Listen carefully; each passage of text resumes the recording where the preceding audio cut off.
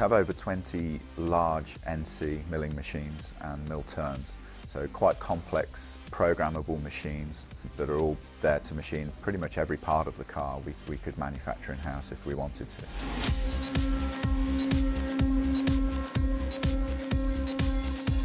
Know, the machine shop is uh, part of the engine house of, uh, you know, of Red Bull Racing and uh, you know, we're machining not only metallics, we're machining you know, carbon composites as well.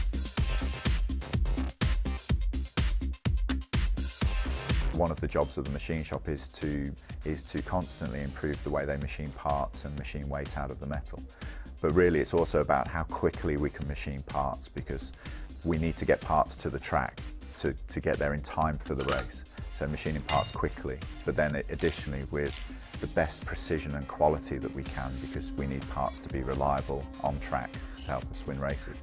Well, there's always been a balance between obviously the sophistication of the machines, but they're only as good as the numbers that you put into them. So the operators are still you know, critical. First equipment is men. We need lots of men because it's handmade. Um, we need uh, autoclaves, five-axis machines, freezers, hand tools, lots and lots of different equipment. You know, you've only got to look at some of the work they're producing and it's you know they're pieces of art whether it's a wheel nut or you know the machining of a, of a chassis mold it's it's phenomenal the work that they uh, they're able to produce.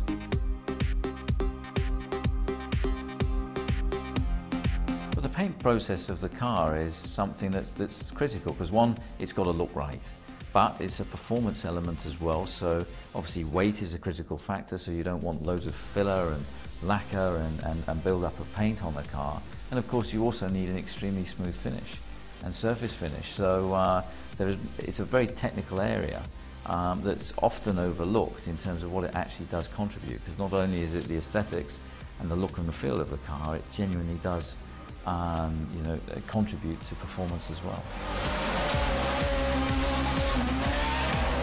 Weight is our biggest challenge, so we're constantly trying to make the car lighter and lighter. It can sometimes be the case that we're machining parts up to the week of the event, where we then need to get those parts out to the track as quickly as we can. Um, and that's, you know, that is the nature of this business, pushing change through the business as quickly as we can, working right up to the last minute.